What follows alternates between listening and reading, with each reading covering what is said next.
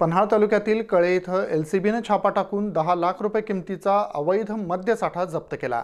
या कारवाईत विजय देसाई याला अटक करण्यात आली आहे. विजय देसाई हा त्याच्या कोल्हापूर गगनबावडा मार्गावरच्या राहत्या घरातून अवैधरित्या दारू विक्री करत असल्याची माहिती स्थानिक गुन्हे अन्वेषण शाखेचे निरीक्षक तानाजी सावंत यांना मिळाली होती. या माहितीच्या आधारे सावंत यांनी आपल्या पथकाला कारवाईचे आदेश दिले.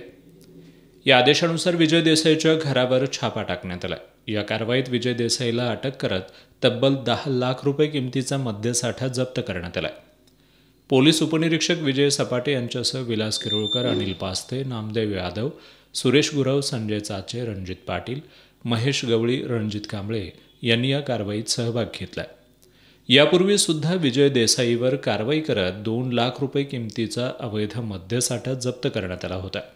आता पुन्हा विजयनं अवैध मद्यविक्री सुरू केल्याचं निदर्शनाला आलंय. त्यामुळे विजय देसाईला नेमकं कुणाचं पाठबळ आहे असा प्रश्न सर्वसामान्यांमधून उपस्थित होतोय.